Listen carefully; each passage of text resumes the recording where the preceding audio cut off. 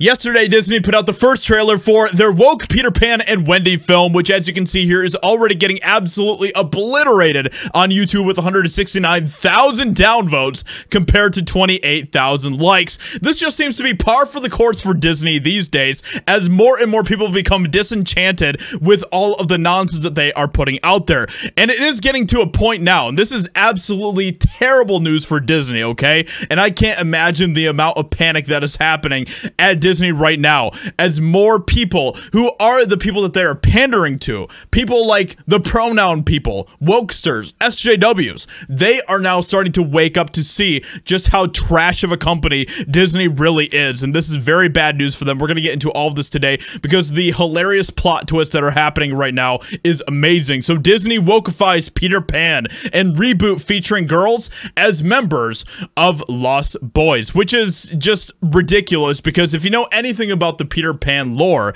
you know that the reason why there are no girls that are part of the Lost Boys is because girls are too clever for that. That is literally part of the lore. But apparently, you know, you can't have that. You got to completely uproot everything and change it, wokeify it, which is exactly what they have done with Peter Pan. This looks absolutely atrocious. If you guys haven't watched the trailer yet, to be honest, I don't recommend it because it is one of the worst things that Disney has put out. And and I'm not even being hyperbolic when I say that. This is absolutely something that I believe. Have you have you guys seen Captain Hook? Oh my gosh, this is so bad. Uh, Angela, darling, where is Peter Pan? That is Captain Hook, everyone.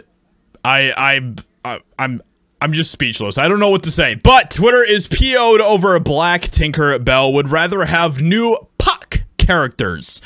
Which, yes, Exactly. That has been the point this entire time. And as you can see here, like I said, the hilarious part about this is that the wokesters are the ones that are waking up to see the nonsense that is going on.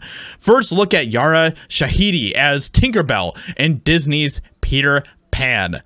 So this is Tinkerbell. And then we got Alex here, he, they, by the way, who says Disney couldn't care less about making new stories with POC characters. They just put people to play white characters, and that shows how lazy Disney is, how racist this is. It's like they don't think POC people deserve their own stories besides like three animated movies, which is 110% exactly correct. This is what we have been arguing about for years now at this point when it comes to Disney. And now you know that things are really bad when these are the people that are starting to wake up to Disney's nonsense. But it gets even worse, okay? The outrage, the backlash that Disney is facing is continuing to mount and get more and more insane. Another echoed that saying Disney's more focused on race swapping original characters. But Tinkerbell, iconic look is literally the blonde hair and blue eyes. Nothing wrong with the loose representation, but why keep changing stuff that already has a staple look? Exactly. You guys are starting to finally get it. Good guy. Good job, guys awesome. Round of applause for for all the SJWs out there.